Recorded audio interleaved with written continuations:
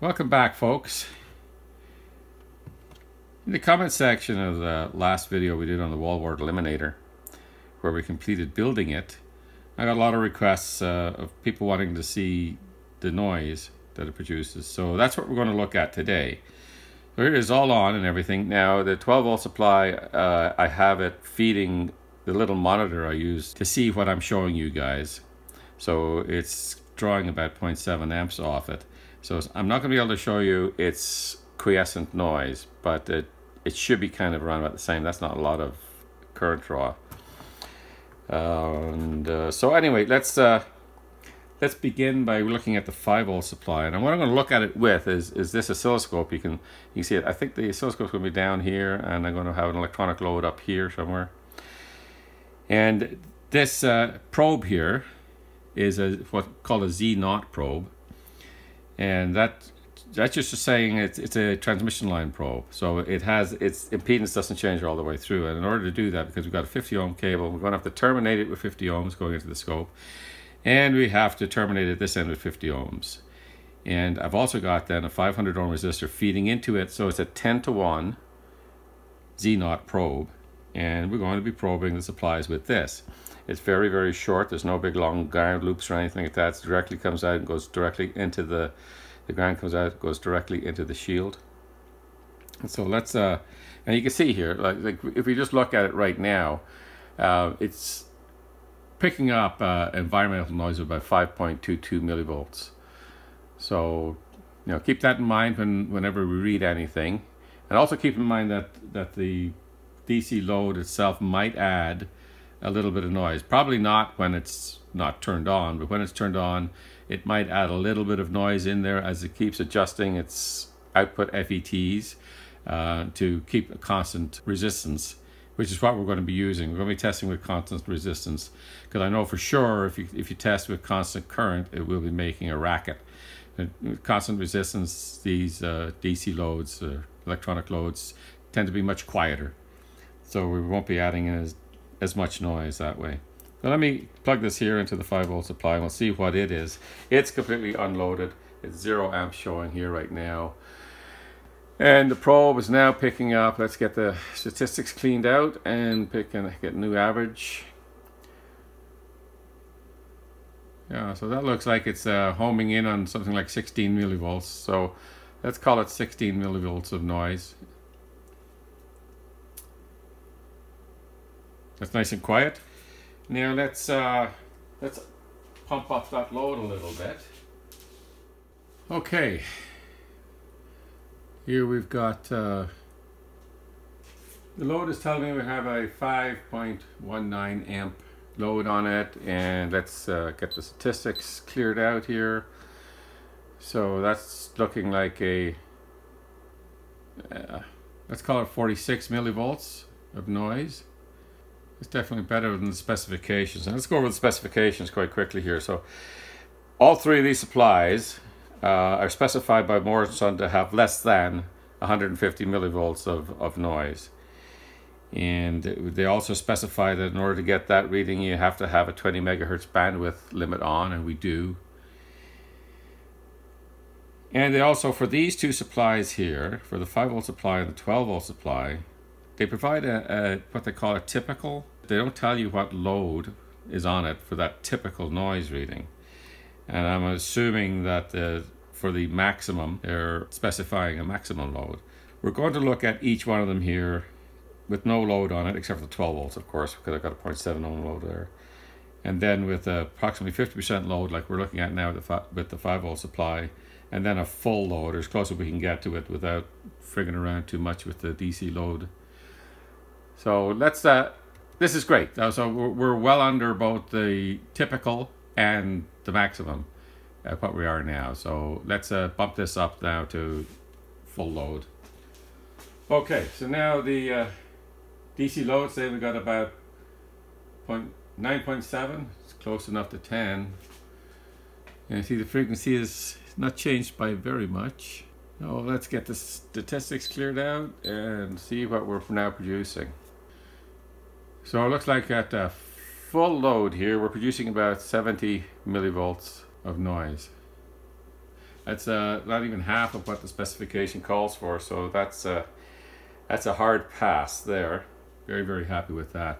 So let's go on to the, the 9 volt supply. Now, I know that it's unfortunate I couldn't get in, in, in the same series of the 12 volt and the 5 volt supply, I couldn't get a 9 volt supply. They just don't make it for some strange reason. And it's a much lower end supply, so let's see what it produces. Now, again, it, for maximum, it's less than 150 millivolts. And we'll see if we get that out of it. Well, let me set up for the 9 volts and we'll Okay, so here we have the 9 volt supply set up. It's connected up to the load, but the load's not turned on. So no current is being drawn off it. So with all the environmental noise and the loads hooked up, we're getting about 90 millivolts, 91, let's call it 91 millivolts of noise, which is uh, well within specifications, but uh, a lot noisier than the 5 volt supply was. Okay. Let's uh, let's pump this one up. Oh, that frequency changed quite a bit there. There we got it. Uh, let's get the statistics reading on it. So it's actually a little bit a little bit quieter. It's come down a little bit. About 75 millivolts. But the frequency sure has gone up from a couple of kilohertz to 86 kilohertz. Huge variance there. Still about half the specification though. So let's uh, let's get it up to full load. So that that there we have uh, 3.3 amps going through it. We'll get it up. All right. The statistics on this. So we've got uh, 6.4648, uh, six and a half amps, and we're getting. Uh, an average of 146 millivolts. So it's it's it's just barely beating its specifications, but it is beating it. I guess if you if you take out any extraneous noise into it, um, you could say it's maybe about 140 millivolts of total noise, which is it's okay. not as pretty as the 5 volt supply, but it's definitely meeting its specifications. It's definitely better than your average wall wart, which could be three or four or five times that. Okay, let's move on to the 12 volt supply. I'll get all that hooked up and we'll have a look at the readings there.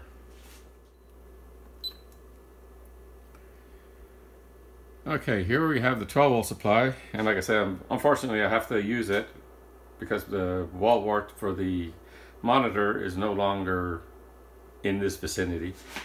I guess I could go dig it out of a box, but I don't feel like it. Anyway, so we're, we're drawing 0.76 or 0.77 amps um, through the 12 volt supply to power that little monitor and we're getting you know 33.7 let's call it 34 millivolts of noise which is uh, you know really good. So have no worries there.